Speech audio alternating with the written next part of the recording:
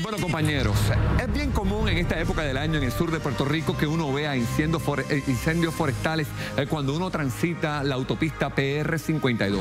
Eh, pero hoy la cosa se fue de control y llegó el momento en que se tuvo que paralizar la autopista y los afectados en este caso hablan. Vamos a ver, tuvimos la oportunidad de entrevistar a los bomberos que estuvieron trabajando esta emergencia. Vamos a ver a continuación.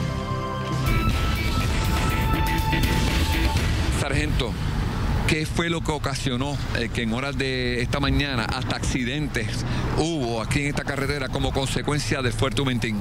Eso es así, pues como ustedes saben, estamos en una temporada seca. Ahora mismo las condiciones del tiempo este, están mucho viento, mucha calor, el combustible está sumamente seco y están provocando estos incendios forestales aquí en, en parte sur ¿verdad? De, la, de la isla. Eh, en la mañana de hoy, pues debido a esa sequía extrema que hay en el sur, se suscitó este incendio en la orilla de la, del Expreso 52, causando mucho humo y afectando el tránsito aquí.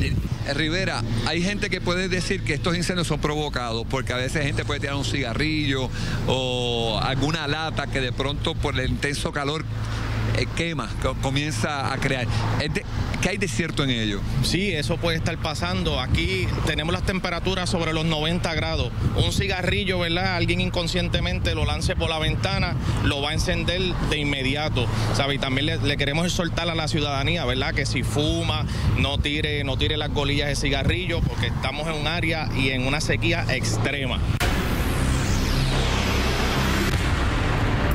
Es bien importante. Una sequía extrema en el área sur de Puerto Rico, eso también hace eh, que la situación se complique. Es bien común, como dije al principio, el ver este tipo de incendios, pero en la medida en que nosotros como ciudadanos tengamos la oportunidad de prevenirlos, es bien importante. Cero cigarrillos y sobre todo dejar de lanzar latas y objetos que pueden crear una autocombustión para así minimizar este tipo de incendios. Ahora pasamos de inmediato con los compañeros, con Pedro y Frankie.